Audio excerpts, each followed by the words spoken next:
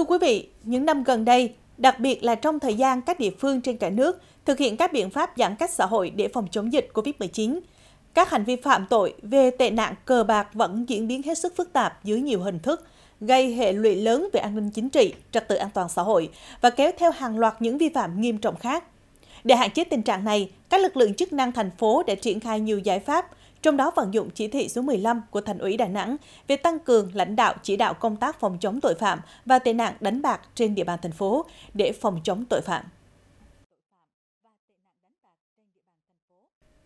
Để thực hiện chỉ thị số 15 của Thành ủy Đà Nẵng, các cấp ủy đảng, chính quyền, đoàn thể, các sở ban ngành, nhất là lực lượng thi hành pháp luật đã triển khai mạnh mẽ, quyết liệt các biện pháp phòng ngừa, đấu tranh trấn áp tội phạm đánh bạc, tổ chức đánh bạc.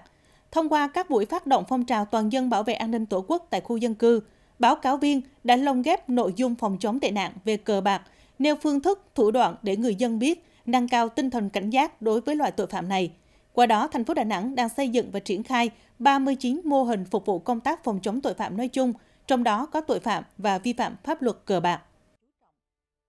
Với trách nhiệm của chúng ta thì phải luôn luôn tuyên truyền để người dân là nắm bắt được những cái thiệt hại cũng như những cái thủ đoạn à, của tội phạm, nhất là tội phạm cơ cờ bạc trong cái tình hình mới. Là địa bàn ít dân cư, nhiều đồi núi, các đối tượng đánh bạc thường lợi dụng các xã miền núi Hòa Vang để tổ chức đánh bạc, phân công người cảnh giới từ xa để hoạt động. Nên khi bị phát hiện, các con bạc thường phân tán lẫn trốn nhanh, hủy tan vật và chứng cứ, gây những khó khăn nhất định cho lực lượng chức năng. Tuy nhiên, bằng những phương thức phù hợp, nắm sát tình hình như chú trọng tuyên truyền, vận động vừa tăng cường tuần tra, xác minh các nguồn tin báo từ quần chúng nhân dân để chủ động triệt phá, ngăn chặn sớm các tụ điểm, nhóm tổ chức đánh bạc dưới mọi hình thức khi mà các đối tượng mà cờ bạc nó bị à, có cái lực lượng ở thành phố đánh mạnh thì nó dọt về vùng vang và sau đó nó lợi dụng cái vùng núi này nó đi vào cái nó lợi dụng nó để cái canh gác rồi nó tổ chức đánh bạc trong đó và cái việc à, tổ chức thì có hơi khó khăn. Theo thống kê của ngành chức năng, trong 5 năm qua, các lực lượng chuyên trách phòng chống tội phạm trên địa bàn thành phố Đà Nẵng đã phát hiện triệt phá, bắt xử lý 1.960 vụ trên 8.707 đối tượng hoạt động phạm tội về cờ bạc qua đó khởi tố 156 vụ trên 687 bị can, xử lý hành chính hơn 8.000 đối tượng.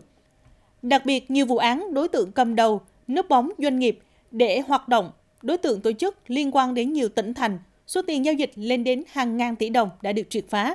được dư luận quan tâm, các cấp đảng chính quyền ban ngành khen ngợi. Trong đó, chuyên án đánh bạc do đối tượng Bùi Mạnh Trí cầm đầu là điển hình của việc núp bóng doanh nghiệp để hoạt động cá độ cờ bạc.